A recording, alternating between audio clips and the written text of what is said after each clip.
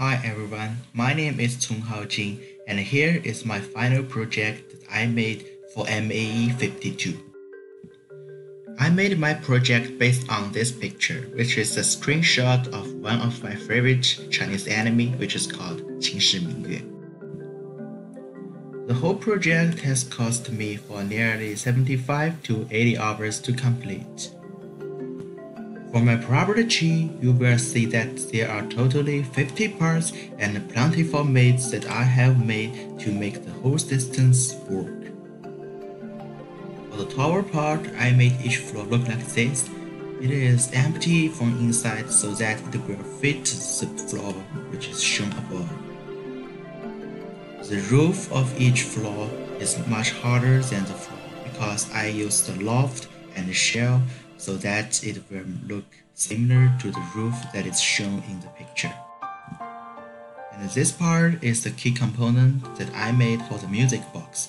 It contains for nearly 30 music keys within this box so that when the roller outside rotates, it will exert force on it.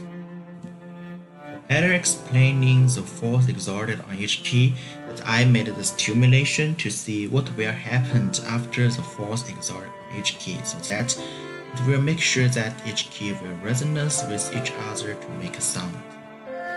Within my music box, you will see that there's also a model will help us to provide the motive power to let the whole system run.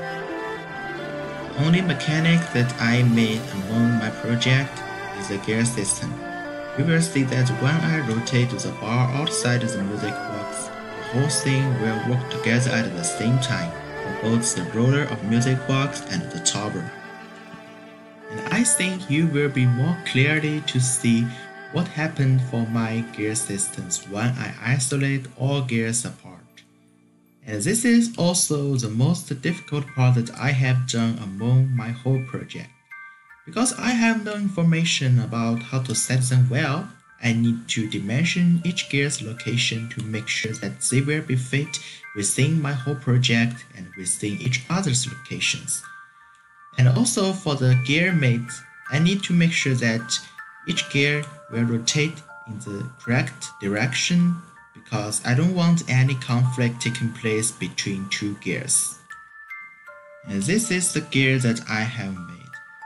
I made one tooth at first by drawing the shape of the tooth and used the circular pattern to let the tooth rotate to form the gear.